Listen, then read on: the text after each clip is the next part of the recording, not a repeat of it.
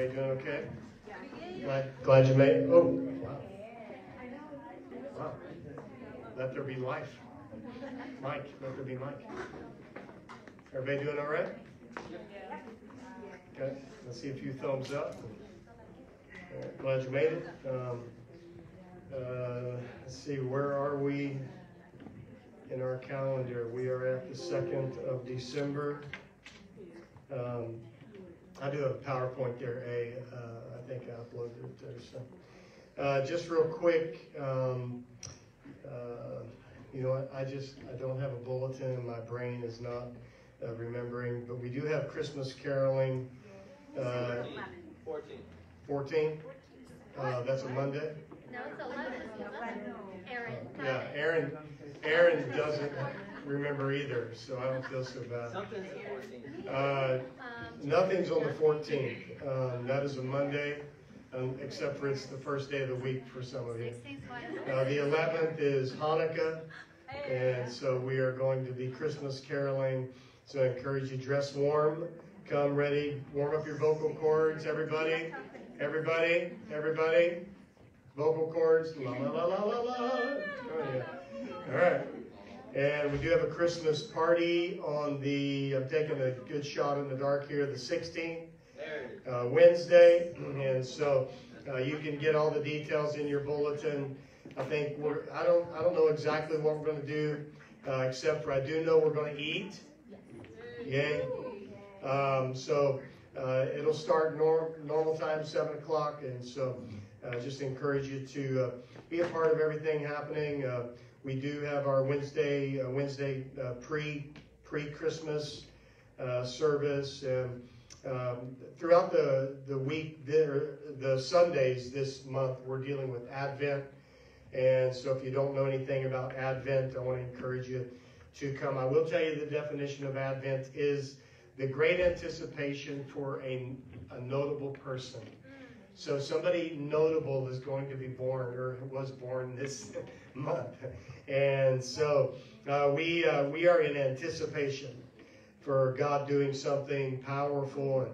And um, how many of you had a, had an interesting 2020? Uh, you know, uh, aside from the pandemic, um, you know, I, our we had a pretty good 2020. Um, so, but we are going to have an amazing 2021, and we're going to believe God for uh, uh, just to help us. And uh, anyway, those are the announcements. Ushers come.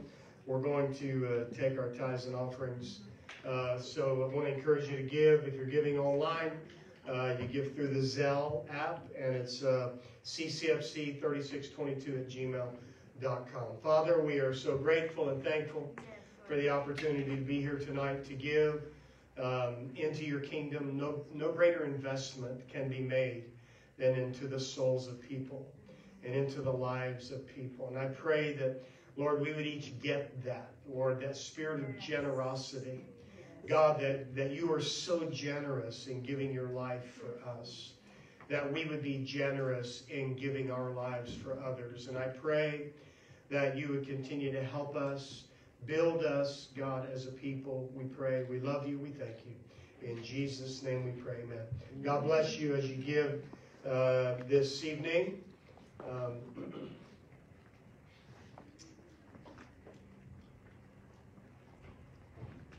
One of the things uh, I want to do in 2021 is I want to start a bunch of home groups, small group home groups. We call them soul group, S O U L, sharing our unconditional love, S O U L. And uh, that's just what we call them. Other people call them cell groups, small groups, home groups. Um, but I want to start a bunch of those. Uh, when I say a bunch, I can, we can only start it with, it's like, you know, the people that are here. So, um, you know, but, you know, I, I think that uh, we can begin to do this and have greater impact in the communities we live. Uh, people may not come to church, but they may come to your house for dinner. Um, and so I do have a strategy for this. Uh, I've had a strategy for it. It's just hard to get people locked in, locked down, you know. And uh, uh, that they're that they're here. Um, you know, one of the things every church needs is dependability. People that are just here that you can go, okay, they're doing it every week or every other or whatever. And so, uh, you know, because we are committed until we die. Right. After that, it's over. Yeah. So when you're dead, when you're dead, you're done. Um, and so until then, until then, um, then let's be committed. Let's be committed to our city. Let's be committed to the people uh, that are here. And so anyway, I do have some thoughts on that. Um, uh, we'll probably gather, uh, have some kind of meeting at the beginning of the year, just so we can get this in place and working.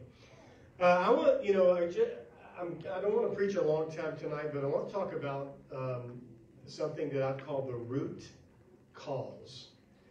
Um, everybody's looking for the root of the problem. You know, when you're in math, you know, in math, you're looking for the root. You're looking for, because the root will tell you everything. The root will tell you how the problem is put together. And, you know, how many of you uh, in English uh, learned how to diagram sentences? Uh, I can't lift my hand on that. I, uh, I could not diagram sentences, prepositional phrases, verbs, nouns, adverbs, pronouns, um, whatever. I'm sure there's a lot of other parts that I never learned. Uh, but diagramming, what it would do is it would call, it would show you the root, and it would show you why. It's the same in everything. Words, why they are. You find out, you know, if they're Latin, if whatever they their origin is, and and so the root cause of your life. Yeah. You wonder why things are happening the way they are in your life. There are times, uh, not always, because we know that we get blindsided and stuff happens, and but many times we can go back and look at the root of our life. And one of the things that we try to do as a church, and again, uh, I am praying uh, regarding the church moving forward uh, as a gathering, uh, what it is going to look like. Uh, you know, uh, and so uh, I'm praying about all, although as I'm praying about that, I, I'm thinking too that the root is never jeopardized. The, the method, um, the, the outward may change, the appearance may change, but the root is never jeopardized. Yeah. Um, and so, again, you, you, we can do this uh, across the board, from our lives to our marriage to our children to, you know, why are our kids the way they are? Look at how you trained them. Look at the root. You know, I mean, there's a lot of things that we can do. Uh, and so, th- just this idea is the root cause, and I'm obviously not going to be able to deal with all of those issues. But I want to use an illustration I've used before. I've got some pictures for you, too. Um, if you know anything about the redwood trees in California, uh, Northern California primarily, they are absolutely stunning. Aaron, maybe you can uh, pull up, uh, uh, go to the next picture. I'll, I'll come back to that one. If you look at the, the picture there on the my right, your left, that is a redwood tree. So there's two people hugging it. I don't know if you've ever seen one of these trees. Uh, they've actually um, bored holes uh, in these trees and put uh, roads going through the trees uh, where cars can drive through the trees. These trees are massive trees. Some of them, they're actually considered the tallest trees in the world. Some of them are over 300 feet high. And when you think about the redwood, and, and I've used this illustration before, if you don't remember, that's okay, I'll remind you. You would think that they would have this super deep root system. But they don't. If you look to the picture on your right, you see why these redwoods are so strong and so stable because they are rooted together. And I want you to take a good look at that. Because that is, should be, a picture of the church. Just take a good look at it. If you're struggling, if you feel like you're sailing in the wind a bit, if you're watching, you feel like you're sailing in the wind a bit, if you're sitting here, then this might be the issue. Is you're not rooted, you're not connected. Uh, go back to the picture before, and this kind of gives you an idea. They they've done this kind of overlay, gives you an idea that uh, there are some that go deeper than others, but more than anything, they are interlocking. They are finding each other, and they're they're locking their root system so that they can sustain uh, one another. And in essence, what this speaks to us is that they need one another to survive.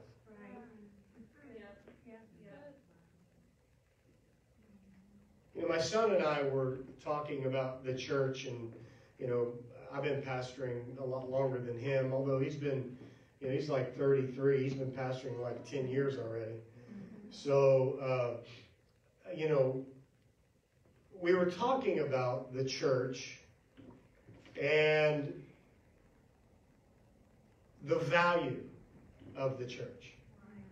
You know, the value is it worth fighting for anymore? You know, we were we were talking uh, about this. What whatever happened to fighting for the church? And you know, we we know, and again, we we get it. You know, as pastors, we get it that the church probably the face of the church isn't going to look like it's always looked.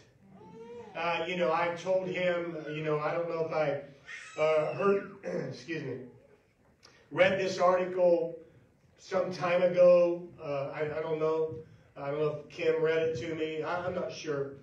Uh, but, you know, maybe, you know, I was talking to him that maybe the days of the mega church are over. You know, maybe the days of, you know, meeting together and gathering hundreds and hundreds, because, you know, you know, as pastors, I don't know whether you know this or not, but as pastors, we like people to come to church. And we like people to get saved and come to know Jesus and then come to church. I don't know if you know that or not.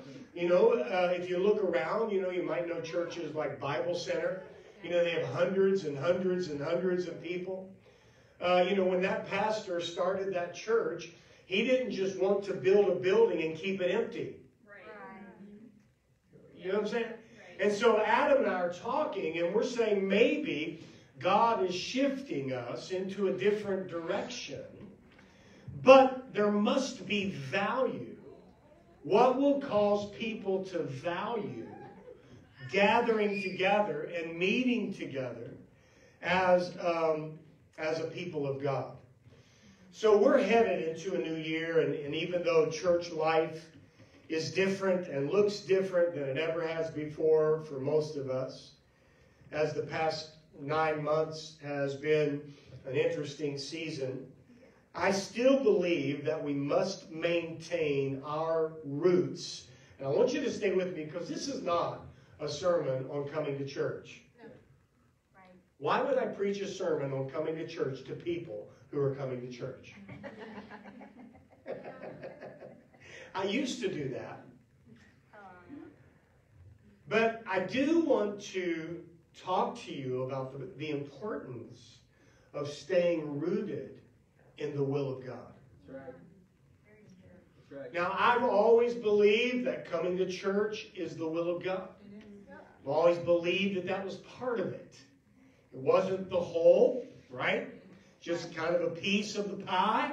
Coming to church, fellowshipping, you know, getting to know each other, you know, again, linking our roots together, helping each other stand and make it, etc. But the bigger piece of the pie uh, is staying rooted in the will of God. How important is it to stay in the will of God? How important is it to know the will of God? Folks, I am so passionate about this. I'm more passionate about you and I staying in the will of God than I am about you staying in this church. I am so passionate about being personally in the will of God. And the will of God seems to be so casual today. I'll just do this and I'll do that. And if I don't want to come, I won't. And if I want to move, I will. And if I want to quit that job, I will. If I don't want to be married anymore, I won't. If I want to date them, I will. I mean, it is like, what is the will of God? Does it matter any longer? Is there anything sacred about the will of God any longer? Come on. That's good. Come on. How important is it to be in the will of God? How important is it to not allow others to determine what the will of God is for our lives?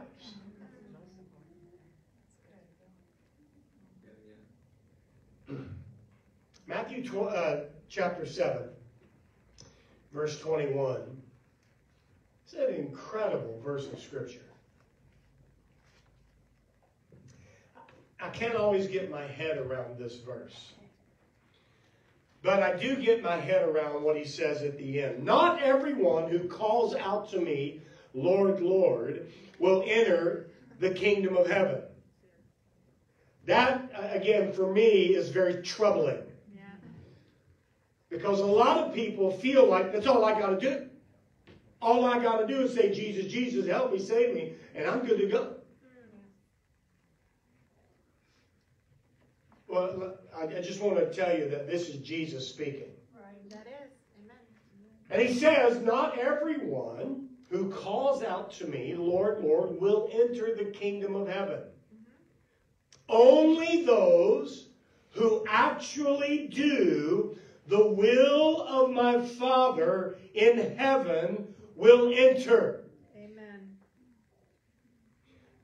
Maybe that didn't quite read well to you. I'll read it in hillbilly vernacular. Only those who do what God says to do will get to go to heaven. Amen. Let me, let me read it a little simpler. Only those who do what God says to do for their life Amen. will enter. It's not about you doing my will. It's not about you doing your husband's will, your boss's will, Come on now. your wife's will. They cannot determine the will of God for your life. Yeah. That's true. Preach it. You know, this is one of the conflicts that people have in marriage. Well, aren't I supposed to submit to my husband? Yeah, but it doesn't mean you're not a child of God anymore. That's right. Come on. Doesn't mean you don't have a will of God for your life anymore. My wife has a will of God for her life. Ah, yes, I'm the priest of the home. That's what the Bible says. By the way, I know I need to in 2021 preach more on marriage and the order of marriage and raising children, which I plan on doing. Uh, so if you didn't know it, the Bible says that the husband is the priest of the home, but it is not a home of slavery. It is a home of servitude where we are serving one another in the will of God. Amen. How important is it to pray? And here's the thing: is now we do things uh, that we don't even pray about, Uh-oh. and we just say it's the will of God. It's just the will of God for my life. This is what we're doing. And you know, the thing is, is that as pastors, my wife and I have learned through the years. I didn't know, I didn't learn this until, until I probably hurt more people than I wanted to, not to overreach. Because you have to hear from God for your life. Yeah. You have to pray. Yes. God, what is your will for my life, for my family, for my children, for my church? We do things and we act ways and we respond and we do we, we don't do things as well that we, we don't even really consider in prayer.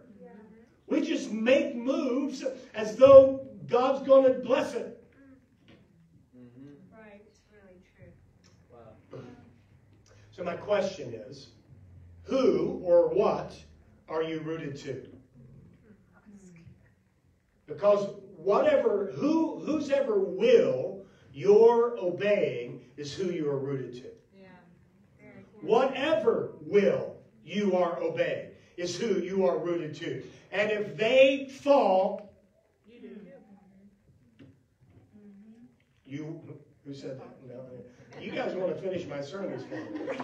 I got it on both sides, man. You will too. Yeah. yes. And, and I'm, you know, and it's not like I'm prophesying. It's just real. Yeah. Yeah. That's why the safe place for you and for me is not that my roots would be buried in Kim, though our roots are together. I am rooted in His will. Amen. Yeah. Very good. And if I ever stand up here and say it is not the will of God for me to be married, please slap me. I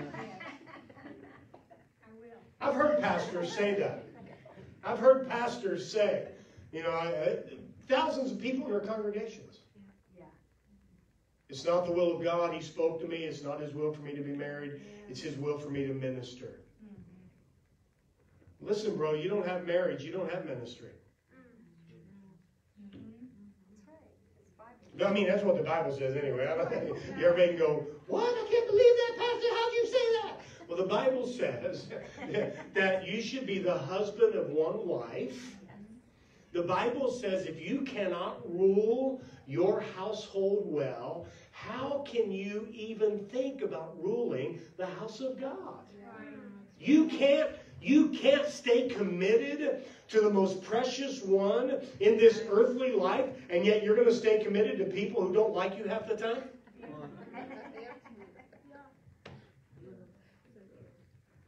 Hey man, the will of God is everything. The will of God is everything. Jesus spells it out in Matthew 7 21. Hey, listen, not everybody who says to me, Lord, Lord, is going to enter into heaven, but only those who do the will of the Father are going to enter into heaven. Only those who do the will of the Father. Can, are we, uh, can we grasp that? Only those who do the will of the Don't get hung up on what do you mean that all those who say, Lord, Lord, won't enter? Don't worry about that. Because you and I have already said, Lord, Lord. Amen. So the, the bottom line is, is now the will of the Father comes to light. Right. Yeah. And we need to root our lives Not a revelation. In His will.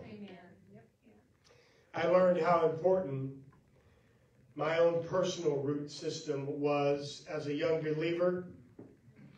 Uh, one of my favorite preachers and men that I admired was caught in an inappropriate relationship in probably 1989 or so, maybe 88, somewhere in there. And I looked around at so many people who were literally, folks, literally walking away from God because this man fell into sin. You might think that's strange, but it's not. Yeah. This is something that happens all too often. And I, I just, I realized as a young Christian, what am I rooted in? Where are my roots? Am I going to be shaken every time something doesn't line up with the way that I want it to line up? Every time my world uh, is, is shattered, every time I'm disappointed, every time someone offends me, every time someone speaks negative about my life, am I going to be rocked? Is my world going to be shaken and my, and, and my faith in God going to be questioned? Because this is what happened. And as a young man, I looked around and I thought, I am not walking away from God because of this man's failure. I made a decision that I would, that no one, no one, absolutely no one was worth going to hell over. No, Right. that's so true. Just made a decision. I, well, you know, it was, it was probably deep revelation to me then. I was like, wow, you know, that's so good, man. I probably said it to people who were like, yeah, duh, dummy. But for me, that was deep. It was like, nobody is worth going to hell over. That's right. That's right.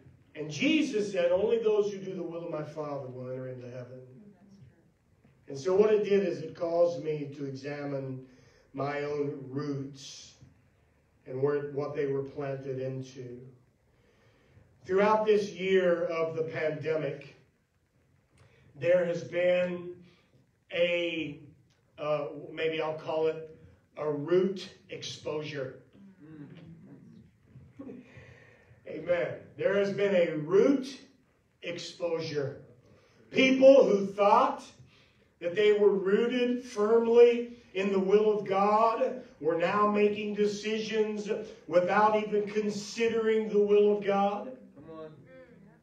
Y'all can say amen or oh me. They were so caught off guard by what was happening around them and what was being said that their roots were exposed. There was an exposure of their roots.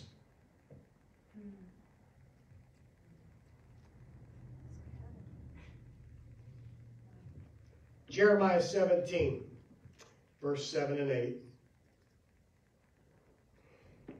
But blessed are those who trust in the Lord and have made the Lord their hope and confidence. They are like trees planted along the riverbank with roots that reach deep into the water. Such trees are not bothered. Love that. They're not bothered by the heat or worried by long months of drought. Their leaves stay healthy. And they never stop producing fruit. This is what it is to be rooted. This is what it is to be rooted in the will of God.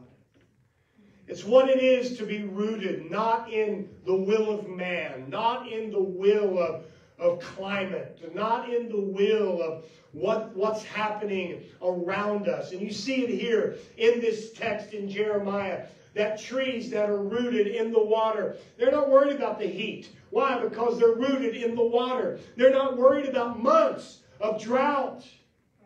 They're not worried about months and months of drought or no water. Why? Because they're getting their water. Their water is the will of God, and they're staying rooted. They're staying planted. My concern uh, from the very beginning of this pandemic was the health of the church. That was my concern. Are we going to stay healthy? I felt smaller churches would be impacted the most.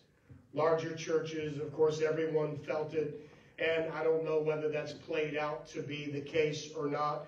Uh, but I do know that my concern was the health of the church, the health of the people. The people, the church obviously isn't the building. I you know, I wasn't here painting the building, making sure the walls didn't crack. You know, well, why are you concerned about the building? No, I was concerned about the people. Right. Yeah. Concerned about the health of the people. Yeah. And people that stay rooted in the will of God, that pray, actually pray. You know, I had people come into our church during that time and they said, you know, we, we were praying and felt like this is where God wanted us to come. This is where he wanted, even though they go to another church, they want, they came here. This is because they prayed. When you pray, God will speak to you. His will is critical to our health. Yes. Amen. Many times when people aren't healthy, it's, it's not the church's fault. Right. You know, and sometimes it's not even their own, like, knowledge fault. It's just they were rooted in the wrong place. Yeah. They were rooted in something different than the will of God. Are you with me so far? I, I'm about done, but they were they they were rooted. They had their roots maybe in how they felt when they came to church, and then when they didn't feel good about it, they didn't come anymore. They they, they were rooted in the wrong thing. yeah. The will of God has to be on the front of our minds. The will of God has to be. It can't just be whatever I want to do, whatever I'm supposed to do, whatever I think I should do. God, what do you want me to do? And I feel so bad about people who are, I don't feel bad about people who are missing church. Church doesn't save you. Church keeps you saved in some ways. It keeps the word fresh in you. But I feel more, more bad about people who miss the will of God. Yeah. And, and it is true, inevitably, you will, you will see the two coincide. The house of God and the will of God. You'll see them coincide. They do. They collide. Yeah. Because the gathering of people is, is, is match is, is, is helping us line up with the will of God for our lives. Listen, this was always God's plan. You know, when the church was started, you know, in the book of Acts, I mean, it was so hard, Chance. You should read the book of Acts, A C T S. You should read it now, too. The book of Acts. It'll really help you to understand the church. When the church was started, you know, the, the senior pastor got his head cut off. It wasn't like, let's all go to church, yay! It was like, well, you know, yeah, if you want to risk your life, maybe. But see, persecution came, and what happened in persecution is the church grew. Because now people begin to value Right. one another. See, that's, I'm trying to frame this. I mean, I mean, I'm even thinking about it today as I'm finishing this up and going over some notes and, and thinking about this in a prayer room. That what is this gathering all about anyway? You know, it's like I preached on uh, Sunday night if you were here. You know, just real short that, you know, where two or three are gathered together, I am in their midst. And so, you know, I began to think, well, aren't you in my midst if I'm not gathered with anybody? Are you not like not with me? You're in my midst if I'm right. But where two or three, there's a greater presence. There's a greater awareness. There's something deeper that God does in the gathering. You know, I'm really done with people saying this is not essential. Because it is essential to God Yes. that his body, Yeah. Yeah. just like your body, you know, Caleb, Caleb's back there, you know, Caleb didn't like take his arm off and leave it at the house today. Hey, Chloe, can you like cut my leg off and leave it at home and I'll just, you know? No, he's got his whole body here. God gives us this picture so that we can understand it in those simple terms that we are the body. And so this is essential to what God is wanting to do on the earth today. And we have to value this. Yes. We have to value. I, I do not get my mandate from somebody that says this is not essential. Right.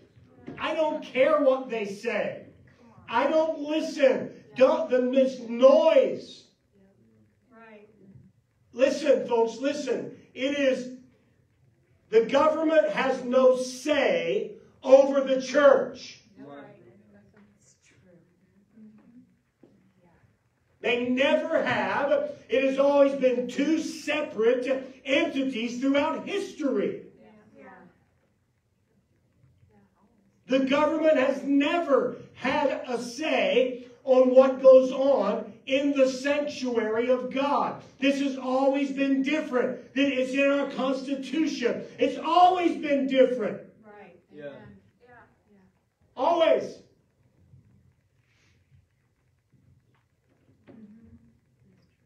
God placed pastors, apostles, evangelists, preachers, teachers over the house of God so that we can come into the unity of the faith with one another. That has always been God's mandate. See, what is His will? His will for us to be rooted in His will. Mm-hmm. Being planted and rooted in the will of God is intentional. It is absolutely not just going to happen. Yeah. It is going to be intentional. It's going to be something that you do on purpose. Right. On. And I'm telling you, not because you hear somebody preach about it or somebody encourages you, hey, get in the will of God, brother, yes, sister, get in the will of God. That's not going to happen. It is going to be you intentionally sitting down by yourself saying, God, I need to know from you. What is your will for my life? See, Jeremiah 17 7 says, But blessed are those who trust in the Lord and have made the Lord their hope and confidence. These, this is the root system of every believer that God is our trust, He is our hope, He is our confidence. That's what nourishes our lives.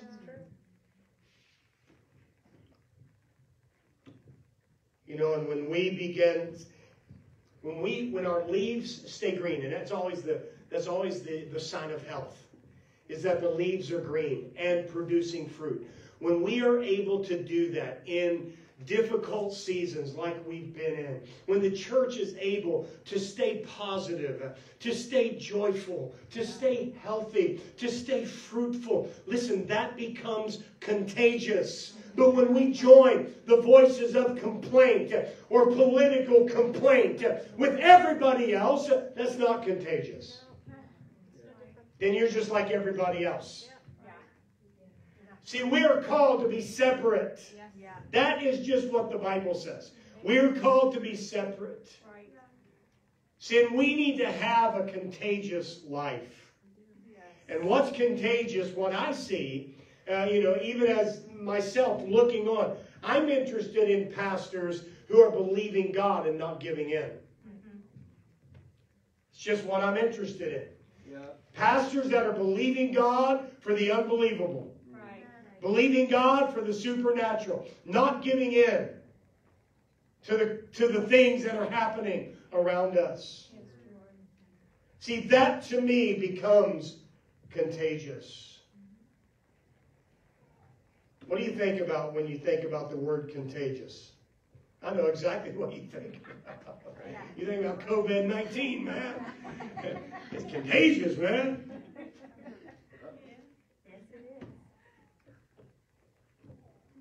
There is a negative side of contagion, Yeah. but there's also a very powerful mm-hmm. side of contagion.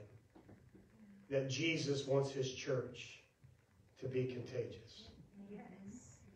And Jeremiah gives us this revelation of being rooted in the will of God. I believe that the water is the will. The water is his will. I am planted by streams of living water. I am planted in his will. I am not moved by the drought of summer. I am not moved by the heat of the day. I am not moved when the winds. I want to be a tree that cannot be moved, that will not be shaken, whose leaves are green and producing fruit. I want to be that tree. I want to be contagious in the good way. You know, I was reading a, there's a great book. Uh, Malcolm Gladwell uh, wrote a book called Tipping Point, if you've read it. He, he uses this illustration, gang warfare. He, he, he says gang warfare was at all-time high in neighborhoods in New York in the 80s and 90s. He said when the sun went down, nobody walked the streets. Nobody would go to the parks. The police would come out nonstop, calls of crimes that were unthinkable. In 1992, there were 2,100 murders in New York City. One year, 1992, 2,100 murders in New York City. They said there were over 600,000 serious crimes in one year. But at some point, something changed. Wasn't anything noticeable. Malcolm Gladwell's writing this. He said the way we know something changed is by 1997, there was no longer 2,100 murders, there were seven, 770. And instead of there being over 600,000 serious crimes, there was just under 300,000. As quickly as crime rose, it dropped. What happened? He says these words somehow a large number of people got infected with an anti crime virus. And so I thought about that. How about if the church would get infected with an I'm going to tell people about Jesus virus? Amen. I'm going to tell people about the love of God virus. I'm going to be faithful to the will of God virus. I'm not going to back down or retreat or regret what God's done in my life virus. You know, D.L. Moody made a statement years ago, stuck with me. I heard this when I was in Bible college in the 80s. He said, The world has yet to see what will become of a man who is fully surrendered to God. I want to be that man. You know, there's a lot of questions that pastors have. Whatever happened to? Whatever happened to valuing the people of God? Whatever happened to tears on the altar? Whatever happened to repentance from sin? There's a lot of sermons that are preached these days that are that come with that title. Whatever happened to? Well, let's think of whatever happened to just do the will of God. Right.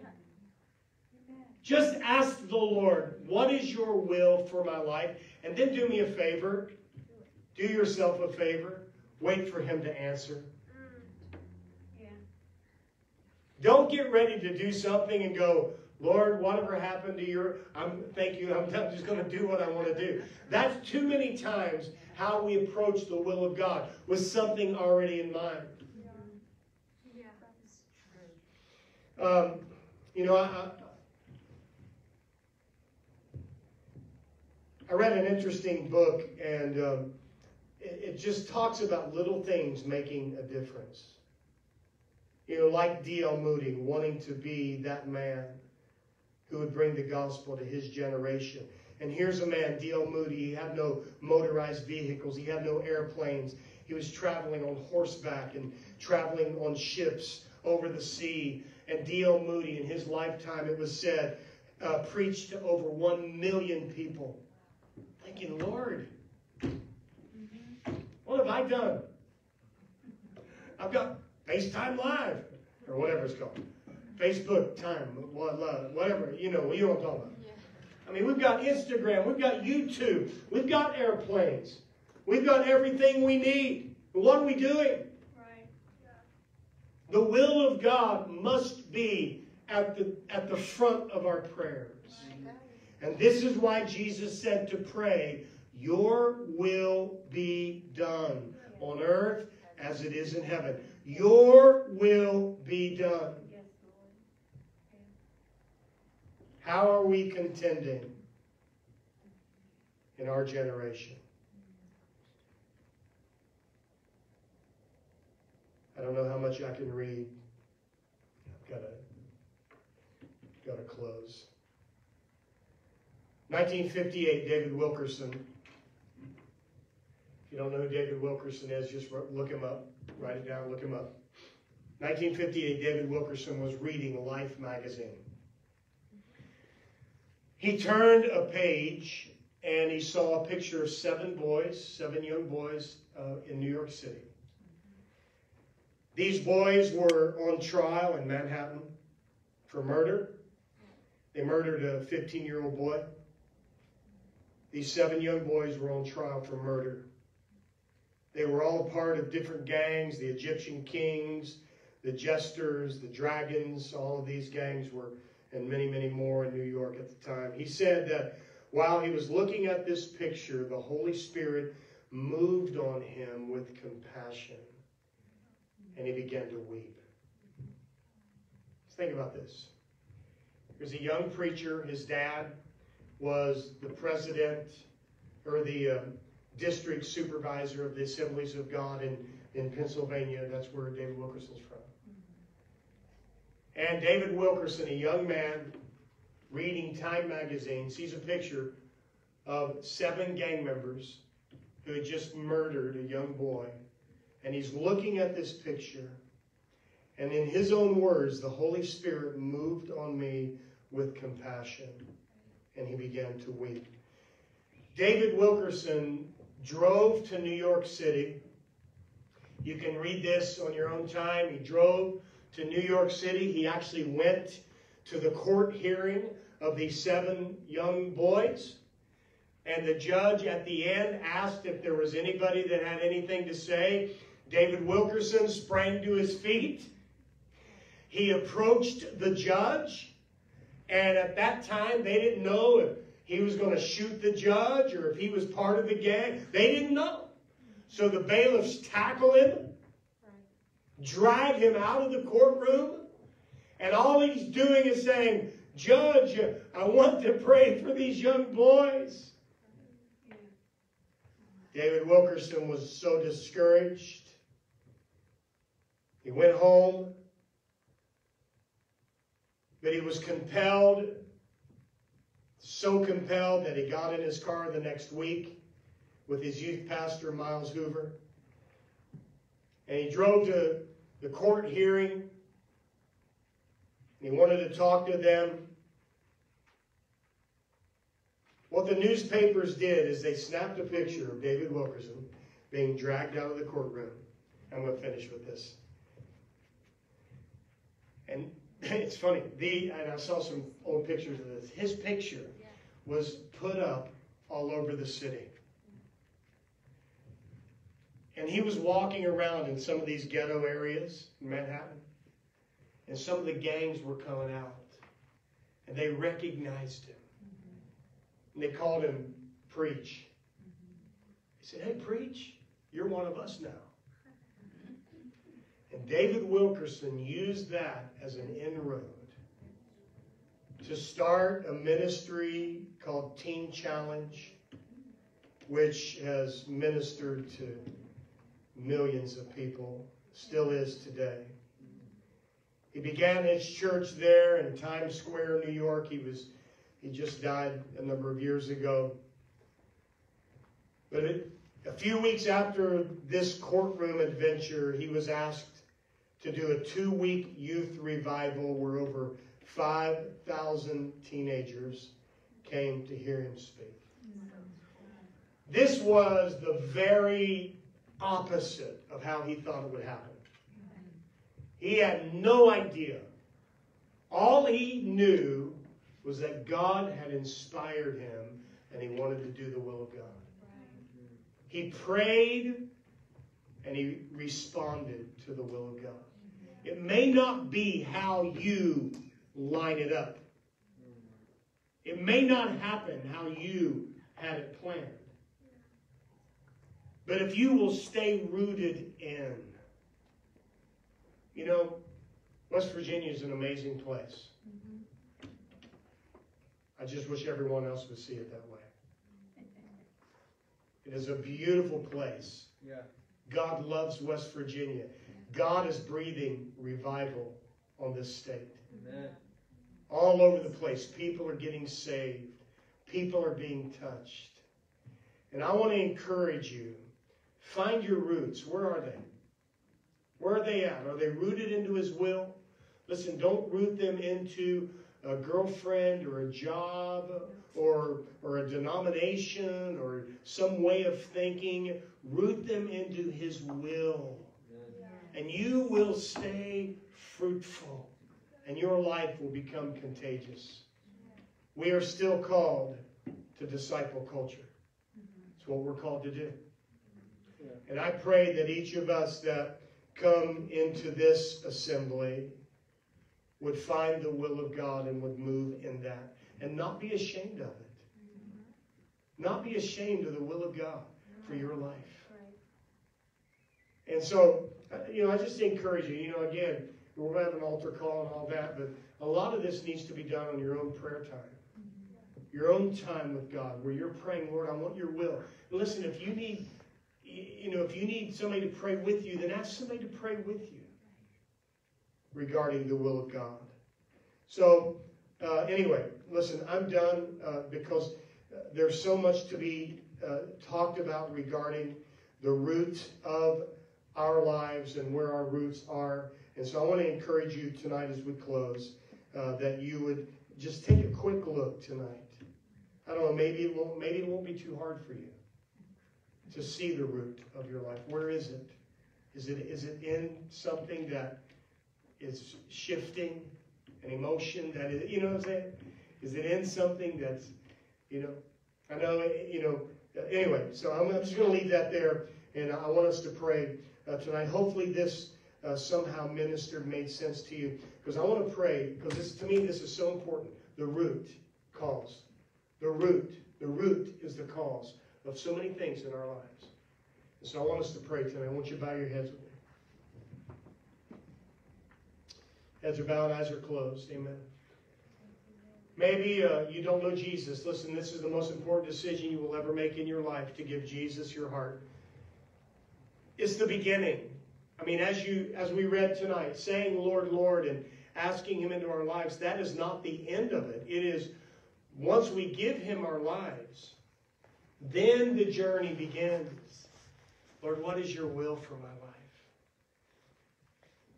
What is your purpose? What is your plan? You know, this is the only way my wife and I ever were able to understand that we were called to go into ministry full time and pioneer and pastor and travel and do what we do because we prayed. Lord, we want your will for our lives.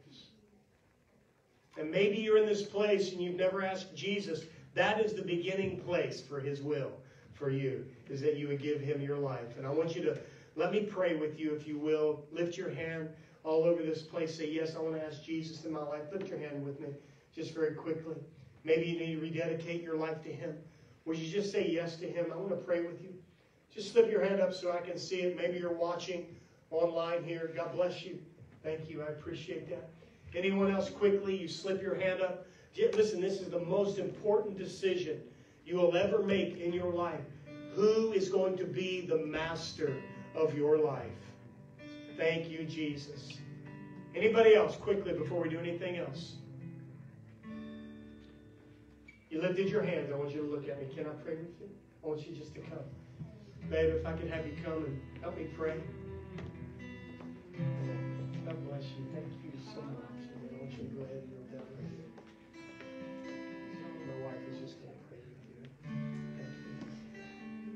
I to say this with me. Say, Jesus, thank you that you love me and you never gave up on me.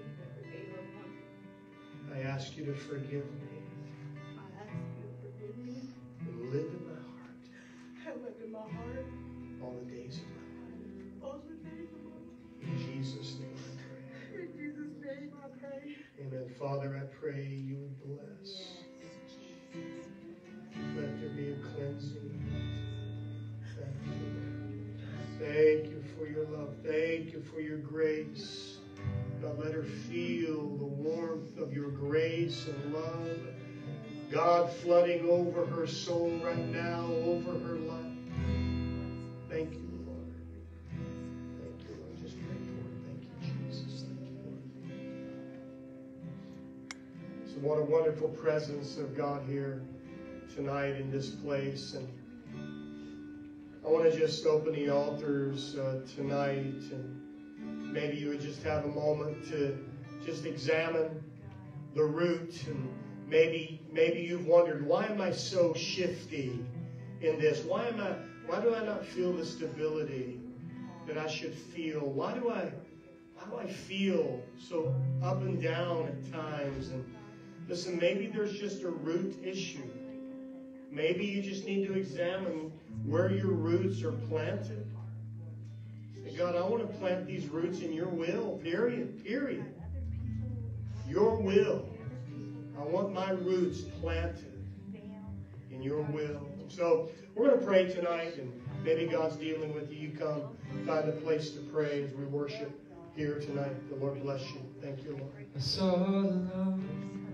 Thank you, Father. Thank you, Lord. We give you praise and glory. It on his throne. Thank you, Lord. He was Clothed in glory. Thank you, Lord. and exalted high. Thank you, Father. We thank you, Lord. You bless.